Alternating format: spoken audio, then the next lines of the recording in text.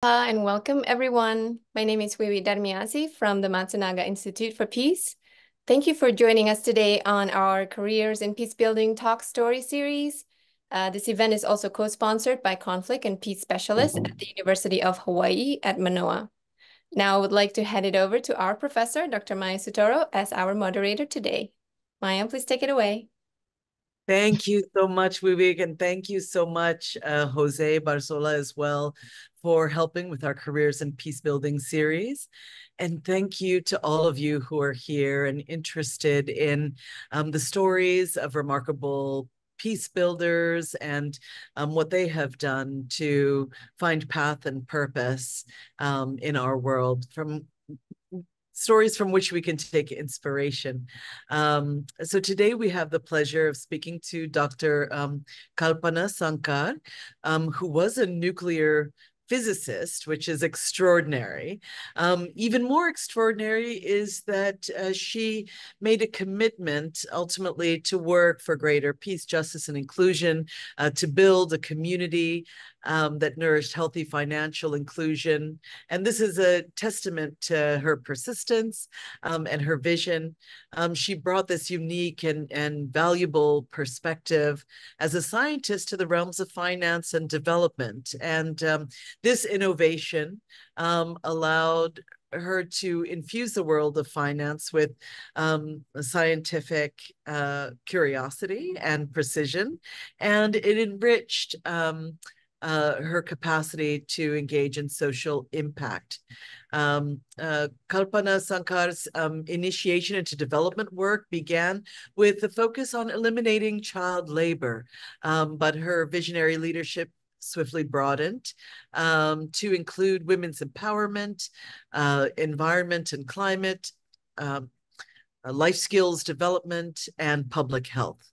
Uh, Kalpana is the managing director of the Belstar Microfinance Limited, uh, which uh, is a institution with real social conscience that impacts over 2.4 million members. Uh, and those members have loans amounting to approximately 80 billion rupees, which is uh, more than a 1 billion US dollars spread across 18 states of India as of November 2023. Uh, so uh, today we get to speak to this remarkable woman uh, about her journey with science, uh, as well as social advocacy and the nonprofit world. Welcome, Kalpana. Thank you, Maya, for giving me this wonderful opportunity. Oh, it's sincerely our pleasure. So tell us a little bit more about the uh, journey of coming to your current work. Um, this is the Careers in Peace Building series, which is designed to help um, people understand that the work of peace and justice is broad and and interesting and there are myriad ways to contribute and uh, yours is certainly a unique way. How did you um, move from science into the world of nonprofit? I did my graduation in physics then i wanted to do my doctorate in theoretical nuclear physics. I did my coursework at Matscience it's a very specialized uh, institute we used to have professors from berkeley and stanford teachers at the institute. I defended my thesis at Presidency College, where two Nobel laureates, Professor Subramaniam Chandrasekhar and Sir C.V. Raman, had defended their uh, thesis. It was a nostalgic moment. I did not realize the value of my thesis until I read Einstein's uh, biography, where he speaks about his involvement in Los Alamos project. My thesis was reviewed and cleared by Professor Lix of Los Alamos University. And I was thrilled to watch the recent Oscar winning film, Oppenheimer, where they speak about the project in Los Alamos. So I started off as a nuclear scientist, uh, but the opportunities at that point in time were very limited. So I thought I'll specialize in radiation, did my internship at Cancer Institute, but I found it too overwhelming I saw patients vomiting blood. I could not take it. Then, when I got an opportunity to head Red Cross, I then I jumped at the offer. Uh, I felt I was cut out for that sort of a job. Uh, so uh, later I specialized on microcredit when I joined the government because one thing is reading in the papers and in the books, but when you see poverty directly, then it impacts you in a different way. So that was the beginning of the journey. Well, that was a brave leap that you undertook. And we appreciate so much that your experiences um, led you to feel compassion and empathy and to ultimately dedicate your life to working for the benefit of others and community. Um, when you began that um, shift, how did it make you feel? And, um, you know, how has working in the microfinance sector and in community building and grassroots advocacy um, changed you? And mm-hmm. yeah, after 30 years of uh, specialization, I think I'm grateful for the unique experience. First few years had the opportunity of working in the policy space. I was working with the Planning Commission of India, bilateral institutions, and government. We were able to design large scale programs. And when I joined hand in hand, there were about a couple of part-time people and some three full-time people. So uh, with the support from Percy Barnevik, our advisor and co-founder, we were able to expand the program across 10 different countries. Within India, we have managed to scale it up to 13 uh, states. Our team is very passionate and committed. And when you talk about Belstar, it was a shell company when I purchased. Today, we are serving about 4.5 million cumulative figure uh, across 18 states in India. Uh, then when, now when I see children who were bonded or who were out of school, um, leading a life of dignity, working in IT sector, having their own enterprise, it makes me, uh, I'm filled with joy. And similarly, in the beginning, women used to be very timid. Even when I used to, when we used to tell them, please open a bank account, to go to the bank, they used to be so afraid. Today, they are very confident doing digital transactions, they were illiterate, but they managed to um, give a very quality education for the children. Many of them are doctors or engineers.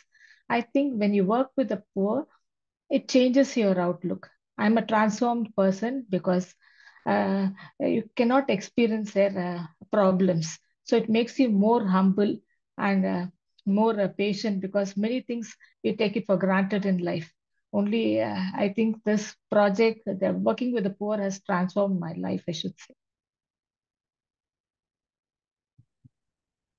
Well, I, um, for one, am grateful that you have um, been so dedicated and put so much energy into supporting women. Um, can I speak to you about that? You know, why is it important that our students uh, also still seek to support women. What is um, still lacking in terms of gender equality uh, and advocacy? And can you tell us more about the uh, landscape of women's financial uh, health and uh, overall health? Thank you, Maya. According to the recent uh, World Economic Forum report, both on gender gap as well as uh, gender parity, uh, we have a long way to go to catch up with the developed, developed countries. Um, this is applicable to all the poor women in Southeast Asia. Women have, poor women especially, have limited access to education, health, access to finance, or even entitlements. Uh, that's the reason we feel uh, we should invest in women to bridge the gender gap. Then we have also seen after taking one or two rounds of loan, they start worrying about other things which matter to them, like education of their children or providing clean access to water and sanitation. And several women over the past 20 years, I've seen they have graduated from us being a small from small livelihoods to a medium-sized entrepreneur. They're able, able to give jobs to other women in the village. And few of them have become elected political leaders in the village. So they are able to contribute to community development. So we strongly believe if we invest in women, we are able to influence uh, family members and also the community. And not only that, I think you realize there are marginalized women who need help. Even I'm so grateful to you and Maya for actually for this encouragement. So first generation entrepreneurs need that hand uh, holding mentorship and encouragement. They can help them with marketing. They can also help them uh, manage the social media page. Apart from that, I would say the biggest benefit for the students is the takeaway from these projects. When you start working with uh, children or poor women, like uh, you develop certain skills. Like all our staff members are trained in conflict resolution and negotiation. To get one child out of labor, our staff have to negotiate with the child first, then the parents, and then the local community, teachers. So it takes a lot of effort to get the child admitted in school. So these are the subtle skills which you learn. And similarly, when you talk about women's empowerment, to get them into a group, because we have to train them on uh, how to be, uh, arrive at consensus, how to decide on the savings amount, about their weekly meeting timing, about conflict resolution, how to prioritize loan. I think these skills are very important for the future generation. So I feel they should uh, get involved in women empowerment and make the world a better place. Thank you, Kalpana. I um I want to ask you um what makes your approach different? I mean, you have managed to grow significantly and swiftly, and in so doing, you've expanded your reach in ways that are powerful. Um, tell us a bit more about how you did that and what makes your process, method, and mindset different, perhaps? Yeah. Hand in hand uh, believes in integrated community development. We have a five pillar program because we believe poverty is multidimensional. We focus on child labor elimination, women's empowerment, uh, health, skill development, and climate change. And uh, Belstar focuses on uh, microcredit. What makes our organization unique is the synergy between these two institutions. Hand in hand, where we mainly focus on women. The other programs are also happening, but uh, not at the pace at which women's empowerment is happening. Uh, when you talk about women's empowerment, hand in hand provides skill training, business coaching, links them with the market, and Belstar provides the credit. I think this unique synergy between Hand in Hand and Belstar helps women to come out of poverty at a faster pace. We have had several external evaluations where they have actually commented that the increase in income after our intervention was somewhere around 30% to even 90% in certain cases. In addition, we have also done a social return on investment study with IIT Chennai. They pointed out that for every one rupee invested, the return was about 42 rupees. So that shows the impact of the program. Uh, we have shown over a period of time that our program is not only scalable, but replicable not only in India, but across the globe. Beautiful. Um, so before I ask a, a, few more questions, I wanted to invite um, those of you who are in the room. We have a, um, a nearly a hundred participants here. Um, and I, I, wanted to invite you to ask your questions, and we will do our very best to get to them. Um, in the meantime, I, I'd like to um, turn to um, you as a peace building leader, you know, what has made you most happy in this journey? And what is your dream for the future? I'm uh, an introvert because basically because of the scientific temper. Uh, I don't believe in promoting myself. Acquiring Belstar was a major milestone in my life. I got it for a, a meager amount of uh, 2.7 million Indian rupees. Today, the net worth has increased many folds. More than that, I'm very happy because it has provided sustainability to hand-in-hand group of institutions. We are employing more than 10,400 people. Because I did not promote myself, I was really surprised when I got three national awards. Uh, it was a very special experience. I also got to meet our Honorable Prime Minister. He felicitated all the awardees. That was an unique moment. Uh, I have taken several risks for global expansion. I've not had even a medical insurance. I've traveled to South Africa many times, Brazil, and other countries.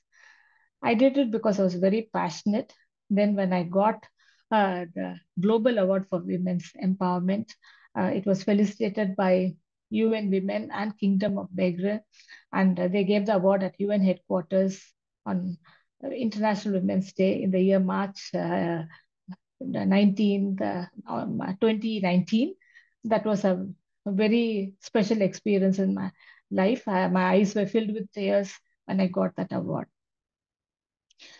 And uh, for the future, I would like to, uh, both hand in hand and Belstar would like to deepen the services. And personally, for me, I would like to share my experience and knowledge with other people who need help. I've been invited to be in the board of an international NGO operating out of Washington. They are working in the area of uh, children and they want to share uh, my expertise. Thank you. Well, those awards are well deserved, and um, and thank you for seeking to mentor and share your expertise with others. Um, I'd like to ask ask you a couple of questions related to nonprofit leadership as someone who has co-founded nonprofits myself. I'm keen to mm. learn from you.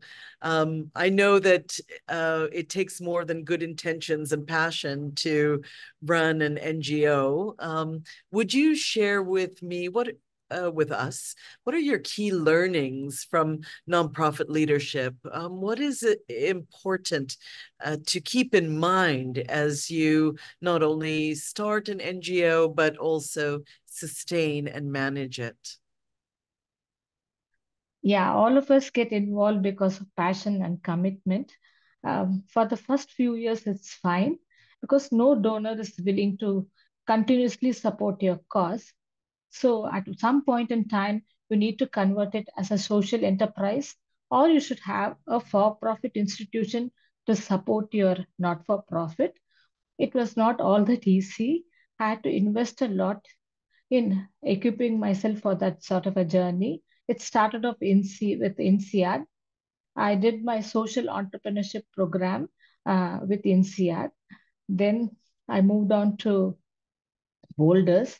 There they train uh, uh, not-for-profits in transformation. It was a three-week course at Turin. So uh, basically I got the training on how to transform a not-for-profit to a profit entity. Then I got a I got a scholarship from Harvard for strategic leadership uh, course in microfinance. That also prepared me uh, about and and I got insights about how to handle uh, both the not-for-profit as well as for-profit. And then this, I was selected for the Changing Faces program by East West Center. Uh, only one person gets selected from India and uh, 12 persons globally. I should really thank East West Center because uh, that gave me a lot of confidence and even perspective. I got to meet great leaders like you and Amanda only through that program. So uh, it's very special to me. After that, I moved on to do a two years uh, MBA through TRIUM. Uh, TRIUM prepared me for managing the for-profit organization. Even in 2016, there was a course on risk management offered by Boulders. I happily enrolled myself for that. Um, even during COVID, I did not stop uh, learning and equipping myself. I specialized in ESG through competent boards. Why I'm mentioning all this is like you have to stay on the top, whether it is for profit or not for profit. You have to continuously keep equipping yourself. Only then you can actually uh, provide leadership to your team and handle projects on scale. It is not easy to wear two different hats both uh, like uh, the not-for-profit is about transformative leadership. Uh, both the cases, some business principles apply, like you're, uh, uh, you're particular about results and productivity, but the way you approach uh, in not-for-profit is totally different when it and it took some time for me to internalize and then move on to for-profit. But over a period of time, I've gained mastery in managing both the institutions on scale. Oh, that's so fascinating. And I'm I'm not quite there. I'd I'd love for you to speak just a little bit more on on um, how you balance financial gain and social welfare. You know, I in and um, how you um, manage to sort of build up um, a socially conscious for-profit endeavor. Can you speak a little bit more to to what that requires? Yeah, um, before the financial year, every year in the beginning, I used to worry, how will I manage uh, my cash flows for the next year? How many people I have to retrench? Because people trusted me and joined the not-for-profit. That at one, I realized at one point in time like donors will not support your project endlessly. We have to convert it into a for-profit entity and make it sustainable. Mm-hmm. I think uh, your uh, we should be focused on what we want to achieve. Um, basically, both that hand in hand and Belstar, we have eminent board members. Uh, they are very particular about the synergy and the value creation because uh, uh even in Belstar, my KPIs is on few financial parameters. They don't tell me you have to spend this much of time in with Belstar, this much of time with hand in hand. They've left it to my wisdom. So the, synergy between hand in hand and Belstar, that is what is creating value. And to ensure that there is mission alignment, we constantly we are um, undertaking studies like social impact study and also client protection to ensure that there is mission alignment with uh, mm, between the two entities. I think uh, uh, adopting business principles or moving to a for-profit entity, I wouldn't say it is wrong because that only helps you to reach economies of scale and also deepen your outreach. But uh, you must be very clear on what you want to achieve. Mm. So keeping that vision and mission in mind and probably re-articulating it as you grow and change to accommodate yeah. the increasing number of community members that are participating and seeking outcomes um, and invested in your your mission. Mm-hmm. So yeah, that's that requires a lot of agility and creativity, I imagine. I another thing that must be pretty challenging is the diversity of geographic endeavor for you. I, I would love to hear more about your global experience. You handle women's empowerment projects in Brazil, Afghanistan, South Africa, Cambodia, and you know this these are um, such unique and powerful cultures with wide ranging and different needs. Um, and how do you manage all of that? And uh, tell us more about your uh, journey of flowing in between these projects. Uh, the first project which I managed outside of India was South Africa. It was possible because of Percy Barnevik, our founder and advisor. He introduced me to Thabo Mbeki. It was uh, very special meeting the president of South Africa. Uh, both of us also presented the roadmap of, for South Africa to the cabinet. I got to meet uh, Ela Gandhi, uh, granddaughter of Mahatma Gandhi. Uh, when I listened to her, I understood the challenges faced by Gandhi in in building peace and how he was also uh, able to inspire global leaders like Martin Luther King, Nelson Mandela, and Thabo Mbeki, uh, using the principles of nonviolence and peace. So even my outlook changed. Then I felt whether a poor person was suffering in India or South Africa or Cambodia, it is the same. We should do our bit to make their lives better. So uh, South Africa, I had a lot of learnings and women also like uh, we had to train them, give them confidence because they were mostly relying on government grants and to get them into entrepreneurship took a lot of effort. The second project was with Afghanistan. Uh, when we set up Afghanistan just one week before, uh, two staff members of another global NGO, they were burned to death. So we were very clear that we had to be Sharia compliant and we had to follow the rules. Our uh, country director, she went and presented about hand-in-hand model at Blue Mosque in Kabul. 64 mullahs participated in that meeting, uh, especially in Afghanistan. Um, those days, before embarking on anything new, women used to consult the mullahs so when they approached the mullahs and asked them whether they could join hand in hand, all the mullahs endorsed and they said, yeah, they came and explained to me, we uh, can join, it will be beneficial for you. So that was the starting point. And we also designed program for men because the same uh, training was given for men in terms of skill training, providing access to markets. Then they allowed the women to join the program. So we had separate groups for men as well as separate groups for women. And when the project concluded, the Minister of Rural Development thanked Indian government for the services of hand in hand. And uh, it was also uh, became a forerunner to a mm, very big um, uh, World Bank project, which was taken across uh, several provinces in Afghanistan. So it was a very successful project and an emotional one too. The third project, which I happened to lead, was with the Inter-American Development Bank. So they all wanted us to set up a pilot at Recife, Brazil. Uh, when we went for scoping, I was really nervous because there were very many very big institutions, microfinance institutions operating out of Latin America. I was wondering what I could actually bring to the table.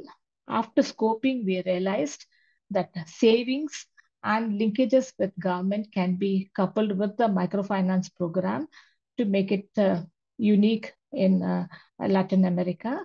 It was very well received. And after external evaluation, the president of Inter-American Development Bank, he said it was the first case of success of South-South dialogue.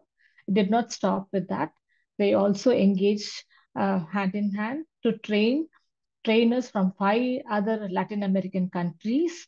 They came on uh, exposure visit to India and the model was taken from Brazil to five more countries. Last to speak about Cambodia.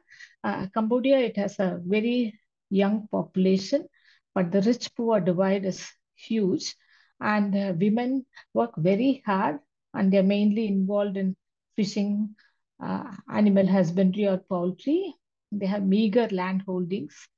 Um, there also in Cambodia, every street, if you see, there will be at least three MFIs. So we wanted to do something different. We introduced savings and internal rotation so that they could borrow money for consumption and medical emergencies. We also introduced skill training and linked them with corporates like SLR. Uh, the program is very well received and the government of Cambodia gave us the SHG banking license after seeing our work at the ground level. So all the four projects have been very rewarding to hand in hand and gave us a unique position. Mm, that's extraordinary. Um, I marvel at your impact and uh, the ever widening spirals. Um, I think that uh, you know it's powerful when you've created something that can be adapted and scaffolded in in every place mm-hmm. it seems um, and i'm glad that you are sharing some of this journey and process uh, in an upcoming book um, I'd like for for again the audience. Um, many of you will be watching this uh, via recording after, but we do have 120 people in the room nearly. So um, if any of you have additional questions, um, please do put them in the chat. And I would like to uh, say thank you as well to Sahana Sankar, who has put in the chat a case study on uh, your work in Afghanistan, um, you know, linked here uh, uh to YouTube. But um, as those of you who are here um, perhaps note more questions, I'd like to ask a final question, which is, tell us about this upcoming book who are you writing it for? Why should people read it? Uh, what will you disclose in it? Tell us more. We look forward to it. Many thanks, Maya, for your support once again. Uh, basically, I have set up 15 institutions. Uh, it has not been very easy. I've uh, faced a lot of challenges. Only my family, my family members have actually seen me uh, struggling with the different entities. So basically wanted to document the vision and purpose behind each institution so that our staff members and future generation will get to know about the great organization and the legacy for which it stands for. Basically, I did, I learned everything the hard way. I was neither prepared for the not-for-profit journey or for the for-profit journey.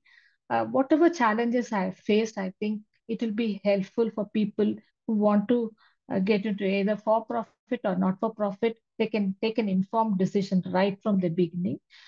I also feel it'll be very interesting to several students, academicians, bilateral institutions, which can actually see the synergy and replicate it in different geographies. There is so much of unrest, rich poor divide.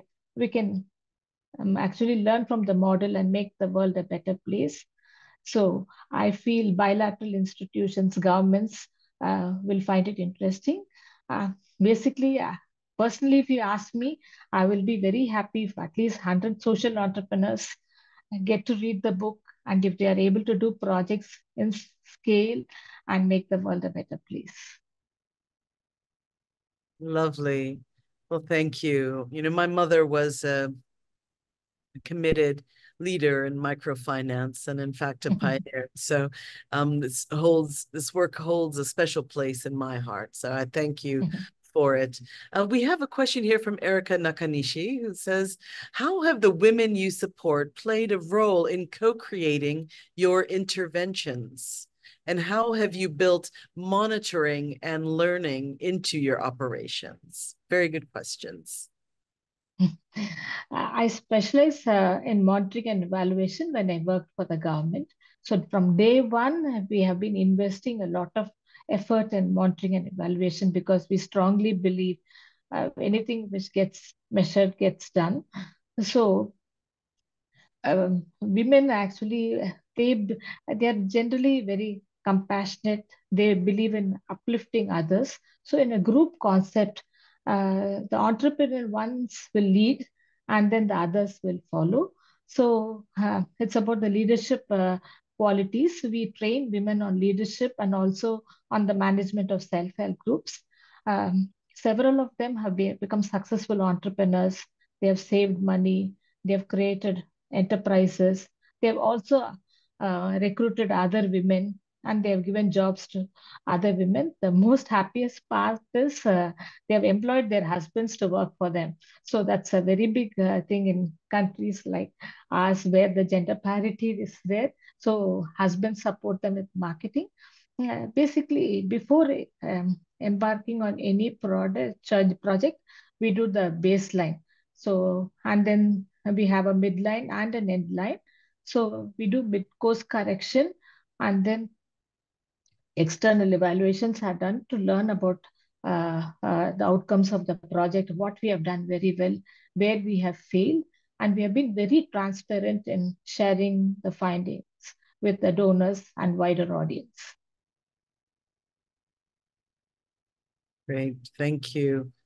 Um, the next question comes from Raju Bhatt. How do global political events affect your projects? Good question.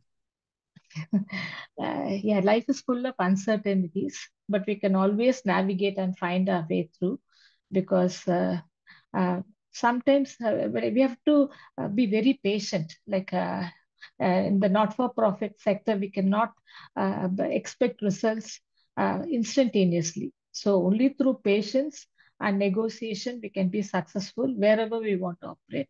For a few years, we may have some setbacks, but we can always overcome through love and patience. Thank you. I um, know that we need a lot of both love and patience these days to deal with global events. But I must imagine that some satisfaction comes from seeing transformation at the deeply local level, seeing the faces of particular women. Um, and that must be an antidote to grief when, you know, mm-hmm. these big global events seem out of reach. Um, which speaks to Julia Steele's question here. It is particularly wonderful to hear about the changes in women's lives created by your work. Um, could you share stories of one or more of the women um, who have been deeply affected um, by the work and who have deeply affected you personally? Yeah, two, three case studies I can share. Um, uh, we used to have a lot of uh, exposure visits. Uh, we had one, uh, we had a group from Afghanistan. Uh, there was an accountant uh, every time when we used to have an, uh, uh, delegation, I used to check on them the next morning. How are they doing? Are they healthy? Do they need any help because they're from another country? They said uh, he was crying the whole night. So next morning when I landed in my office, I went to meet with him and speak to him.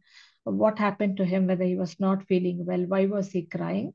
Then he was narrating his experience. In his village, there were about 70 people and 69 people got gunned down. And the bullets the people who were shooting them they ran out of the bullets and he was the last person.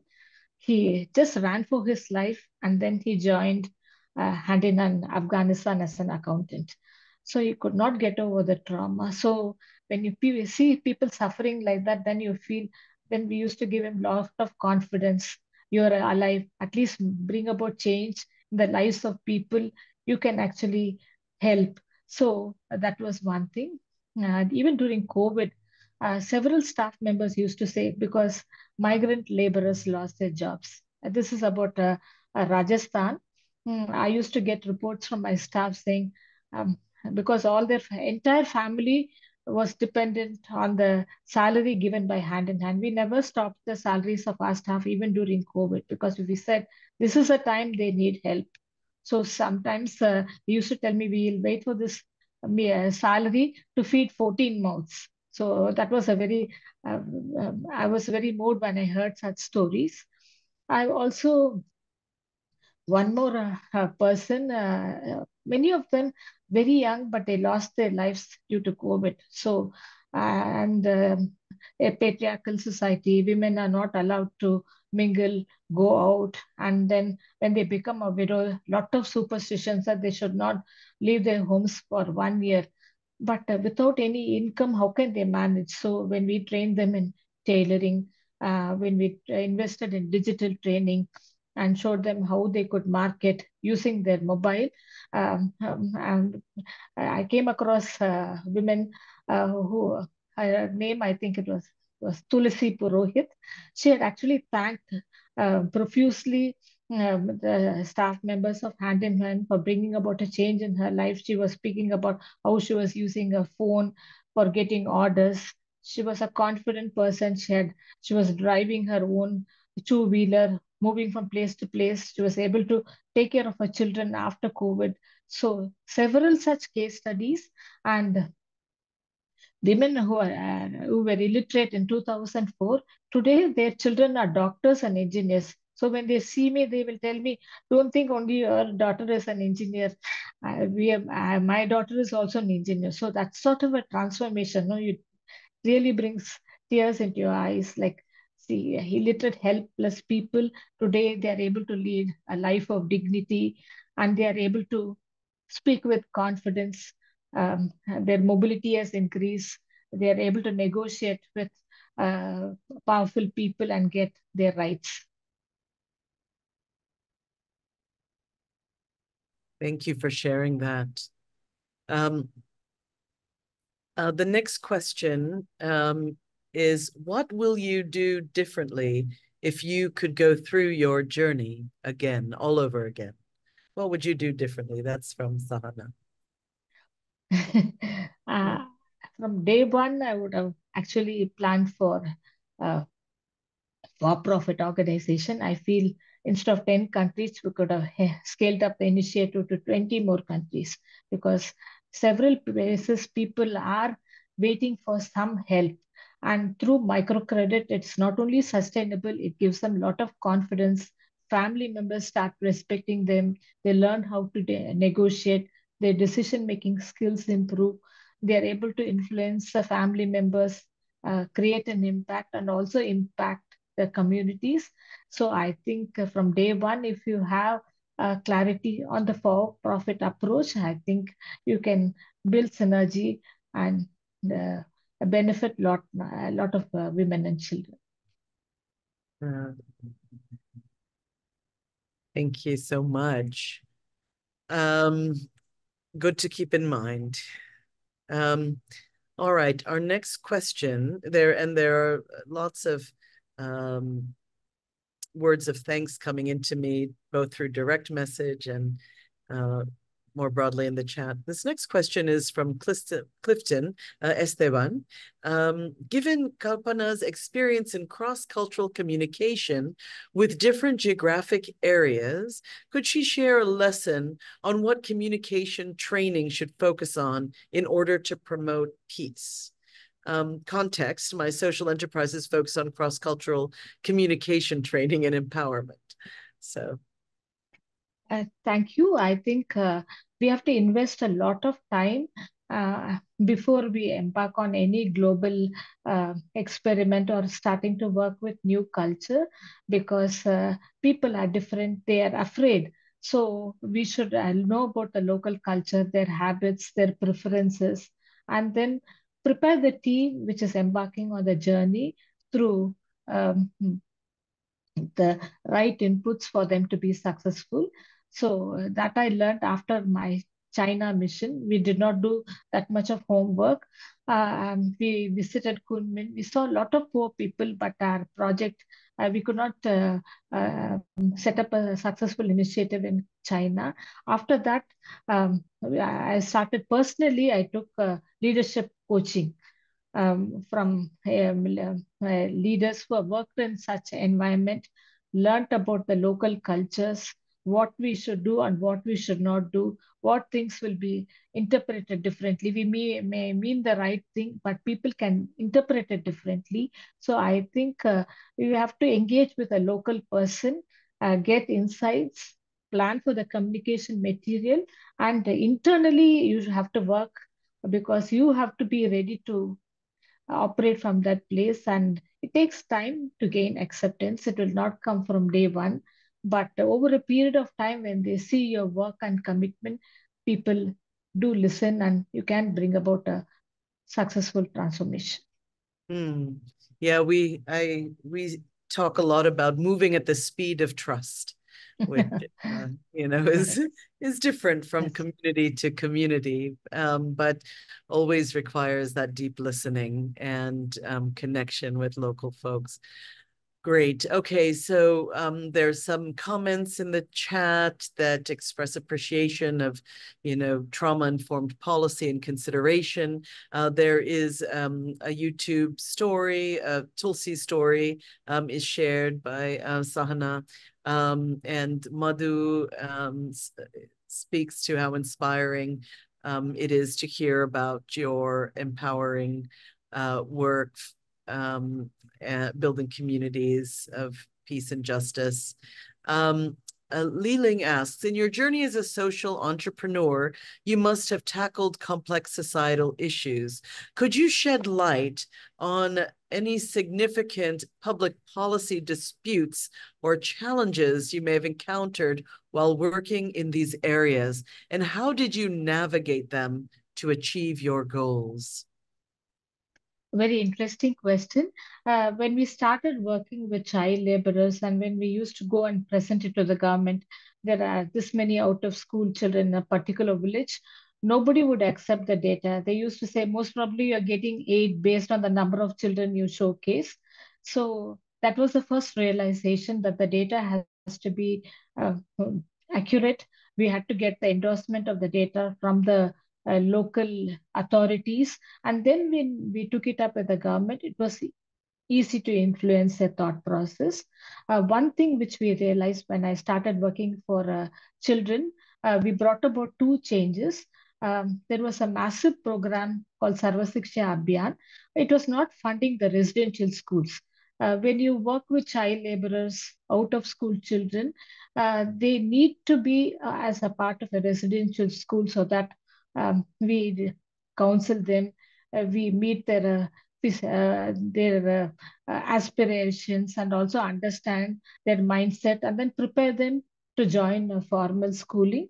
So we took it up with them and then they included uh, the residential schools funding also as a part of the program. One more thing uh, which we did was uh, when it came to child labor, um, people used to um, take children for work 24 hours 7. Um, but uh, school admissions were limited uh, uh, to July. So when we used to get the children ready, we could not handle them because after two years, after, but uh, schools were not ready. So then a landmark uh, government order we got in 2006, they said whenever a child is ready, based on the literacy levels of the child, the child should be admitted in the school. I think that has helped several children in Tamil Nadu get uh, admission in government schools. That was a major breakthrough. So wherever it is possible, with data, we approach the government for policy level changes. Thank you. Um, the next question comes from Manoharan. I hope I pronounced your name correctly. Um, who's from Belstar, it seems. What pivotal moments or challenges have you encountered during your journey that have profoundly influenced your leadership style and the direction of your initiatives? Sometimes uh, people don't understand why you're taking a particular decision. And uh, then I realized that communication was the key. Uh, when you take some uh, you are convinced about why you're taking a particular decision, you have to be uh, prepare a communication strategy, get the buy-in of all the people, and then only move on. So uh, people don't understand when you take some decisions why uh, you're bringing about certain changes. So any change uh, you have to bring about, it has to be a process. You have to get the buy-in of different stakeholders and then move forward. So I faced a lot of criticism when such changes uh, were brought in.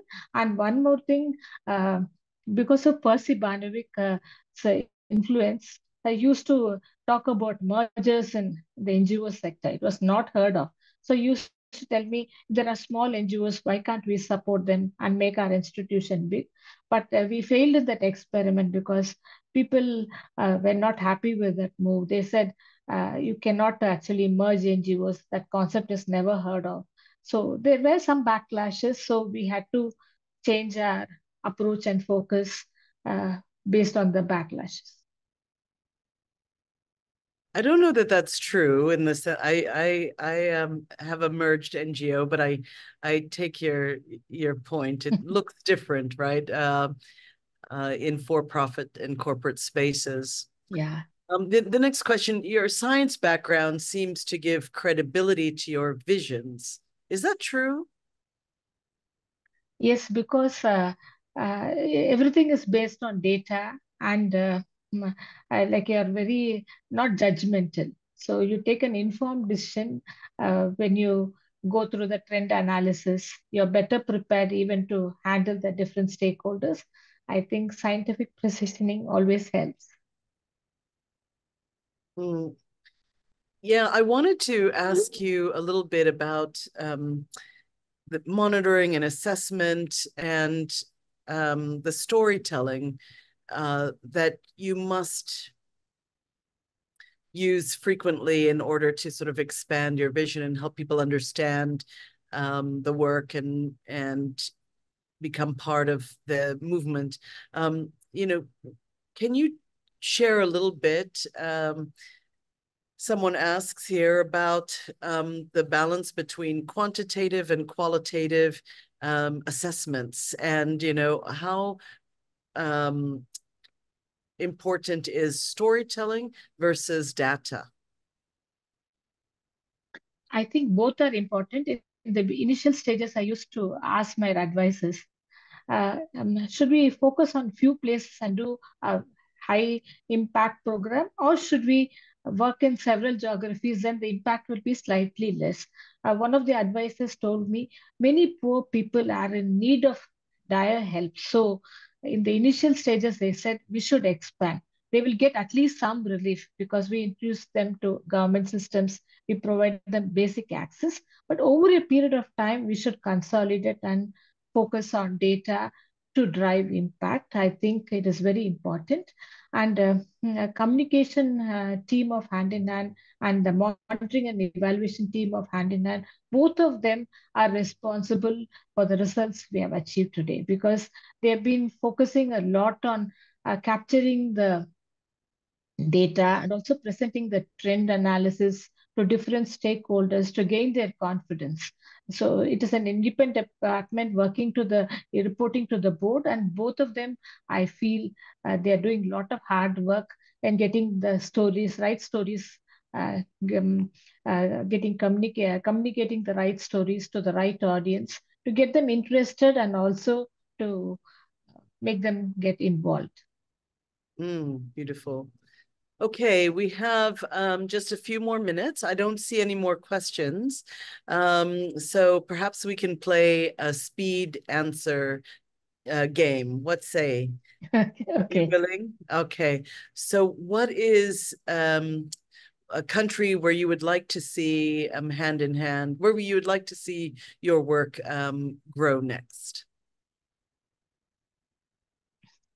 A Latin American country, Mexico, or any other place. Mm-hmm, great.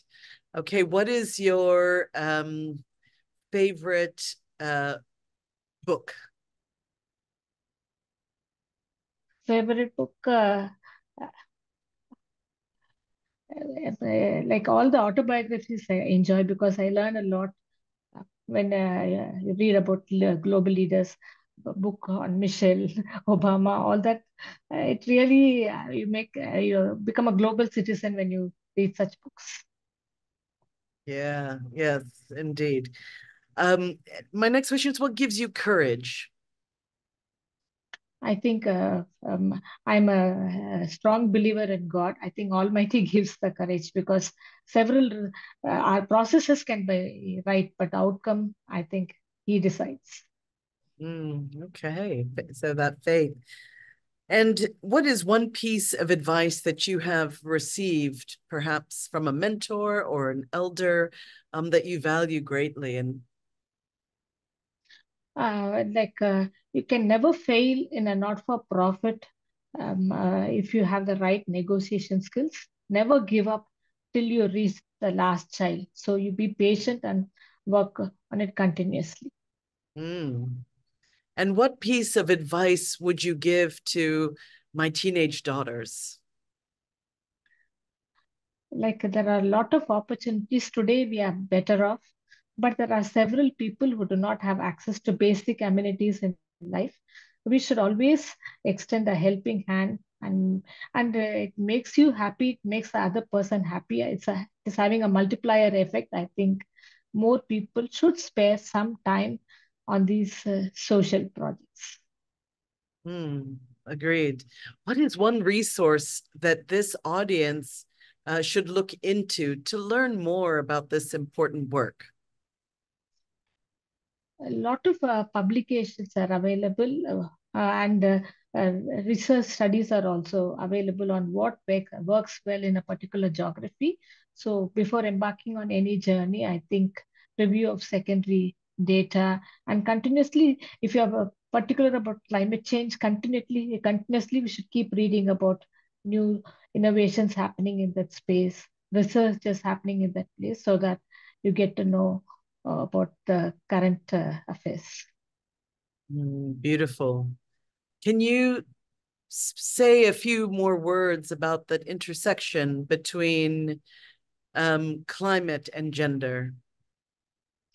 Yeah, women are affected the most. Women and children are affected. We have seen that in tsunami. They were all uh, uh, in 2004.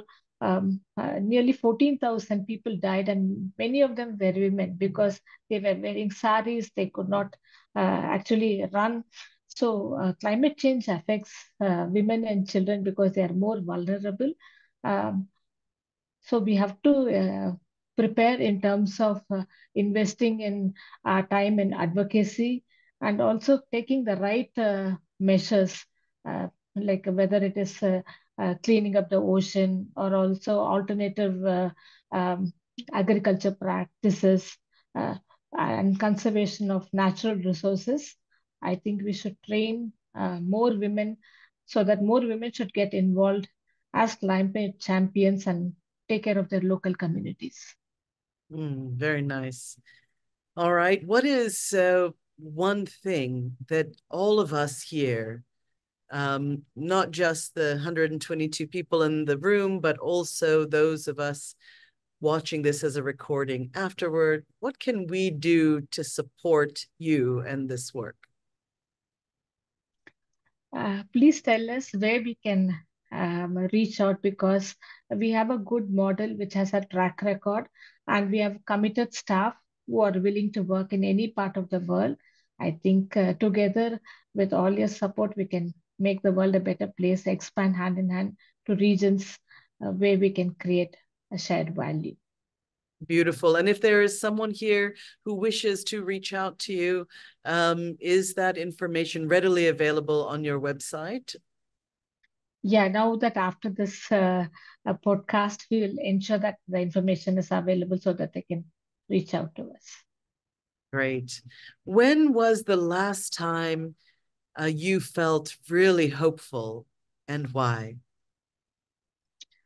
uh, the success of Belstar gave me a lot of courage because uh, um, um, after pro handling projects in Afghanistan and Brazil, I felt confident about the approach we are following in the not-for-profit. Recently, I think Belstar uh, should be touching uh, uh AUM of uh, 1,000 million rupees uh, by March 31st. That's our goal. We're working towards it. The entire team is focusing on that. I think uh, that makes me feel that I've achieved something even in the for-profit world. Now, thank you. Well, we have come to the end of our webinar. I will say I have learned a lot and been inspired. We have um, the contact uh, info at high oh, oh, hand in hand. So it's info at hihindia.org. It's all one word, hihindia.org. Um, for those of you who cannot see the chat, or any of the socials at www.hihindia.org. Fantastic. Thank you so much for this time. And I want to thank uh, again Jose and Wiwi uh, and the Matsunaga Institute for this Careers in Peace Building series. I hope that all of you uh, will consider yourselves part of the Matsunaga Institute family and come back for future um, programming. And until then, please be well, be healthy, and thank you for all that you are and do. Aloha. Aloha. Many thanks, Maya and team, for this amazing opportunity. We welcome all of you to visit India and see our projects and strengthen the collaboration. Uh, we will surely do that. I know I will. Thank you, Kalpana, for your Thank- thank you. um, exceptional work and and thank you all.